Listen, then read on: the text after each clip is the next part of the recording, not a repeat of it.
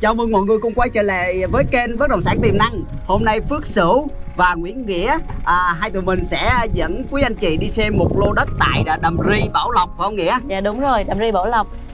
À, và vị trí lô đất này thì ở đâu thì à, như thế nào thì à, Nguyễn Nghĩa thì à, giới thiệu cho mọi người biết rõ hơn một tí xíu được không?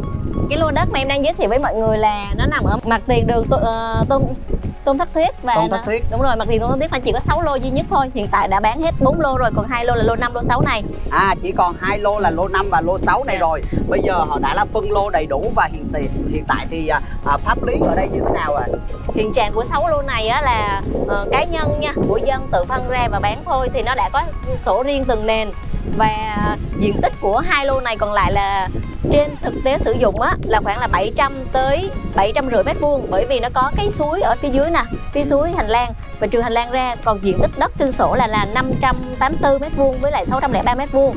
Trong đây sẽ có là 252 mét thổ cư sẵn cho khách 213 cương phải không? Ừ. và bên đây là cách ờ, khu biệt thự nghỉ dưỡng Kiwuki bên đây là chỉ À, cách phía bên kia là Kiwuki phải 200 không? mét vuông là tới khu dưỡng 200 mét vuông là tới Kuiki mà cho hỏi thì xíu á, là ở đây á, là gọi như là gì? Đây là những cái hồ là hồ tự nhiên hay sao?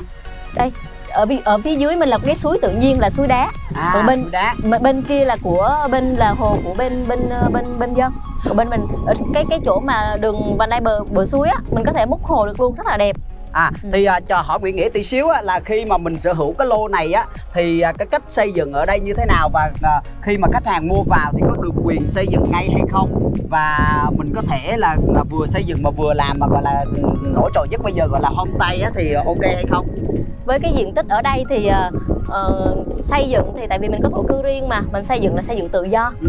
và tôi nhìn nè nước nè bên cạnh có nước có nguồn nước rất là mình có thể làm kiểu như là biệt thự nghỉ dưỡng sân vườn à, à, vừa ao nuôi cá này kia rất là phù hợp với lại À. cái khí hậu bên đây và À. ngoài ngoài cái việc mà mình mua mình làm nghỉ dưỡng hoặc là mình đầu tư với giá rất là tốt nha cực kỳ tốt luôn cái Wow. mặt tiền này là mặt tiền đường chính nè nó Đường sẽ là đường thông thương ra thành phố Bảo Lộc và qua bên Lộc Tân thì à, bây giờ mình hỏi Nguyễn Nghĩa tí xíu á là với vị trí này thì cách với Bảo Lộc thì à, khoảng à, bao xa?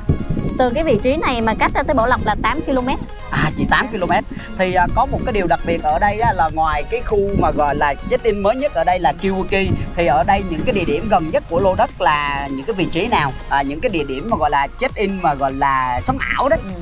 ở đây là sẽ có là bên cạnh mình là Kiwuki nha Dạ, biển rồi. nghỉ dưỡng đã hiện hữu. Và chút xíu nữa sẽ có Bảo Lộc Viết và bên kia chính là đồi chè Tâm Châu. À đồ khu chè Tâm Châu. Nó Ừ. sẽ bên cạnh.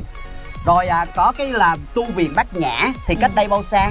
Tu viện ừ, Bát Nhã từ đây qua đó cách phải đó khoảng ờ, từ đây nó khoảng 4 đến 5 km 4-5 km ha. cách cả năm Đầm Ri thì khoảng chừng 2 km thôi. Nhưng mà có một cái điều đặc biệt đó là à, mọi người cũng đã biết đó, đến rồi là hiện tại là cái đường à, cao tốc à, Tân Phú à, Liên Khương phải không? Thì à, dự kiến sẽ khởi công và theo như Nguyễn Nghĩa thì từ vị trí lô đất này đến cái à, cao tốc mà à, Điểm exit. à, gọi là exit là cái lối Ừ. thoát hoặc Ừ. là cái cái đó thì khoảng bao xa? Từ đây tới cái tại vì cái điểm, cái điểm nhánh nó sẽ xuống ngay chỗ phía bên đây thì nó cách đây khoảng đâu đó chưa tới 5 km là điểm Ừ, exit lối thoát qua tới đây ha. và đây là cái đường chính mặt tiền nha cái mặt tiền ở đây mình À. mỗi lô như vậy sẽ cái đường mặt tiền là 12.6 m Rồi thì à, ở đây thì à, khi mà di chuyển à, rất là dễ dàng phải không? Ở đây là di chuyển rất là dễ dàng à, lên cao tốc nè về Bảo Lộc và ừ, theo như Nguyễn Nghĩa thì à, từ đây mà mình đi đến một cái thành phố gọi là thành phố Đà Lạt, thành phố mộng mơ đấy Ừ. thì à, khoảng bao bao nhiêu cây số? Nếu mà từ Bảo Lộc đi lên tới Đà Lạt trung tâm Bảo Lộc thì qua tới 100 100 120 km 120 nhưng mà với cái khí hậu ở Bảo Lộc á thì thứ nhất là bọn đây nó còn hoang sơ nè nó còn vẽ sinh thái tự nhiên nè Ừ. và nó đang gọi là ừ, quy hoạch sau sau với Đà Ừ. Lạt thì nó sẽ chỉnh chu hơn với lại hạ tầng nó sẽ ok hơn so với Đà. Lạt còn sẽ là tự phát thì nó sẽ lên gọi là bê tông hóa rất là nhiều rồi thì Bảo Ok. Lộc đang là cái điểm đến mà mà khách đầu tư rất là thích hoặc là những khách mà mua nghỉ dưỡng lâu dài họ rất là ưu tiên thứ hai nữa là nhiệt độ khí hậu ở đây nó sẽ ừ, tại vì nghĩa là dân Bảo Lộc nên nghĩa cảm À. nhận là nó sẽ rất là ok hơn rất là nhiều Nó Ok không, ở đây là không lạnh quá phải không? không quá lạnh không quá nóng nhiệt độ chỉ bình bình bình Ok. Ừ. Rồi với lại cho mình hỏi tí là ngoài cái về cái khí hậu thời tiết thì à, đối với Bảo Lộc này có những cái à, à, đặc sản hay là những cái món ăn hay là những cái loại cây ăn trái nào mà nó cảm giác mà nó ờ, ok mà gọi là ngon hơn và thu hút những cái à, à, khách du lịch đến đây.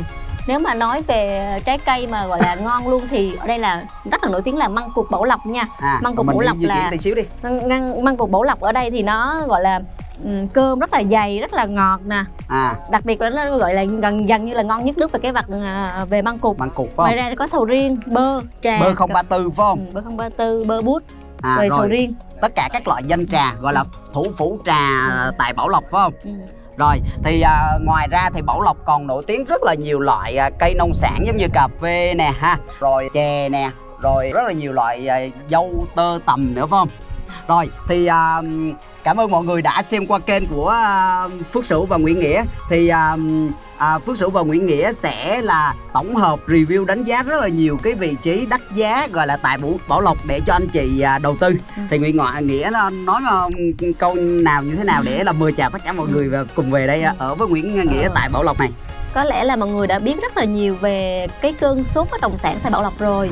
Thì hiện tại giá cũng rất là tốt và cái đợt dịch đợt này thì cái giá hiện tại bây giờ nó đang gọi là đang đang gọi là ừ, chào gọi đang chững lại một chút cho Ừ. những ờ, tại vì mọi người biết khi mà hết dịch bệnh này khách Sài Gòn sẽ bung lên Bảo Lộc rất là nhiều Ừ. lúc đó sẽ là cái điểm giá mà nó sẽ tăng vọt là Ok. cái gọi là cái đòn bẩy đó thì cái thời điểm hiện tại bây giờ là cái giá đầu tư cực kỳ tốt vậy là Dạ, hai nền là lấy vào đầu tư rất là tốt tốt hơn giá thị trường phải không Ờ, về giá thì so với khu vực xung quanh nha những Ừ. cái khu vực ví dụ như là khu biệt thự Kiwiki chẳng hạn thì giá đây nó đang thấp hơn với giá thị trường từ một triệu rưỡi tới 2 triệu tại Quá cái lô này vời. À, để đầu tư à, xin liên hệ với Phước Sửu hoặc Nghĩa Nghĩa để mình sẽ cung cấp đầy đủ thông tin cho cả nhà. Xin chào và hẹn gặp lại.